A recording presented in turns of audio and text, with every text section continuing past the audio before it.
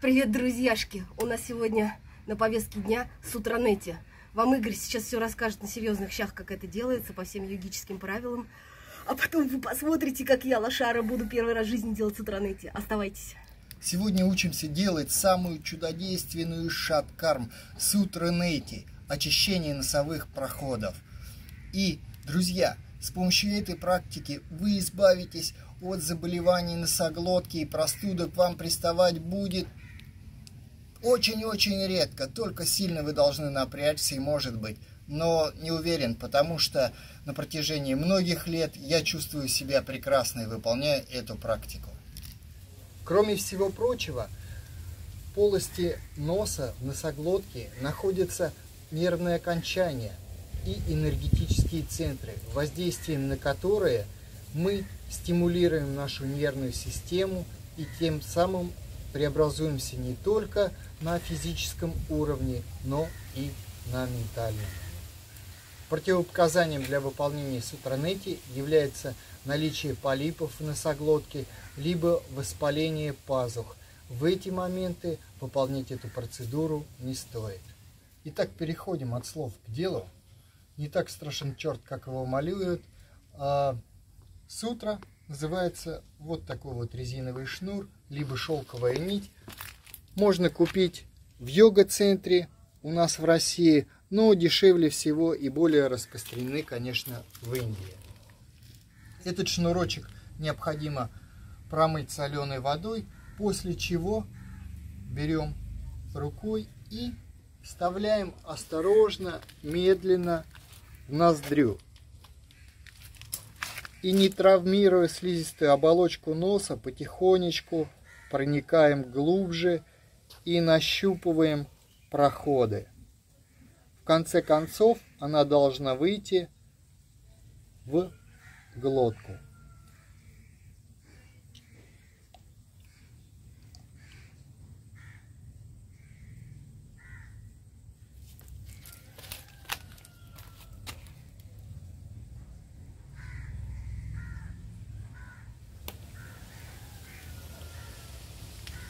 После того, как мы захватили шнурочек из глотки, делаем 20-25 движений туда-сюда и переходим к следующей ноздре.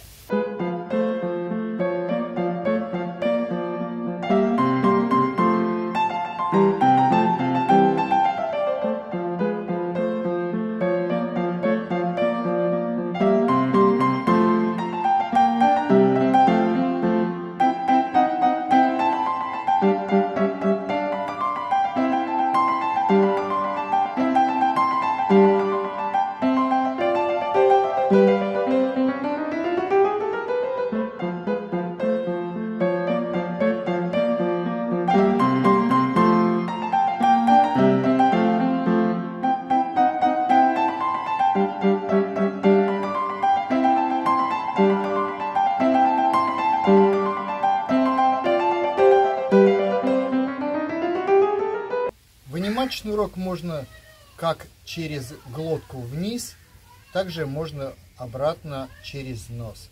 Это не имеет значения. Выполнять, как и все практики, стоит с утра на голодный желудок, потому что возможно проявление рвотного рефлекса, и при этом, если вы много покушали, естественно, пища у вас будет выходить. И если вы хорошо освоили сутранети, можете уже купить себе чайничек и выполнять джаланети, и не будет никаких побочных эффектов. А сейчас наш новичок Люба Шаталова попробует выполнить сутранети. Посмотрим, поприветствуем и пожелаем ей доброго пути в йоге. Привет, друзьяшки! Я так волнуюсь. Ну, посмотрим.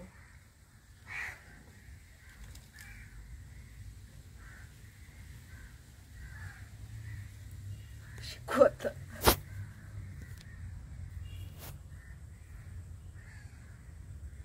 Тупик.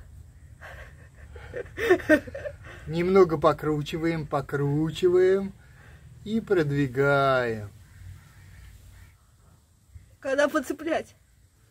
Открываем рот и пальцами нижней руки стараемся нащупать конец шнурочка в носоглотке. дубль. Если шнурочек упирается у вас в пазух или проход, тогда начинаем вращать. Ну, получится, конечно, не с первого раза. А как вынуть, не понимаю, не чувствую. Сейчас будет дубль 3 уже. Следует добавить, что шнурки могут быть разного диаметра, и вначале нужно выбирать, конечно, меньше, может быть 2 миллиметра. И опытные уже йоги, которые делают давно в странете, до 5 миллиметров может шнурок проходить. Конечно, резиновый намного удобнее, нежели шелковый.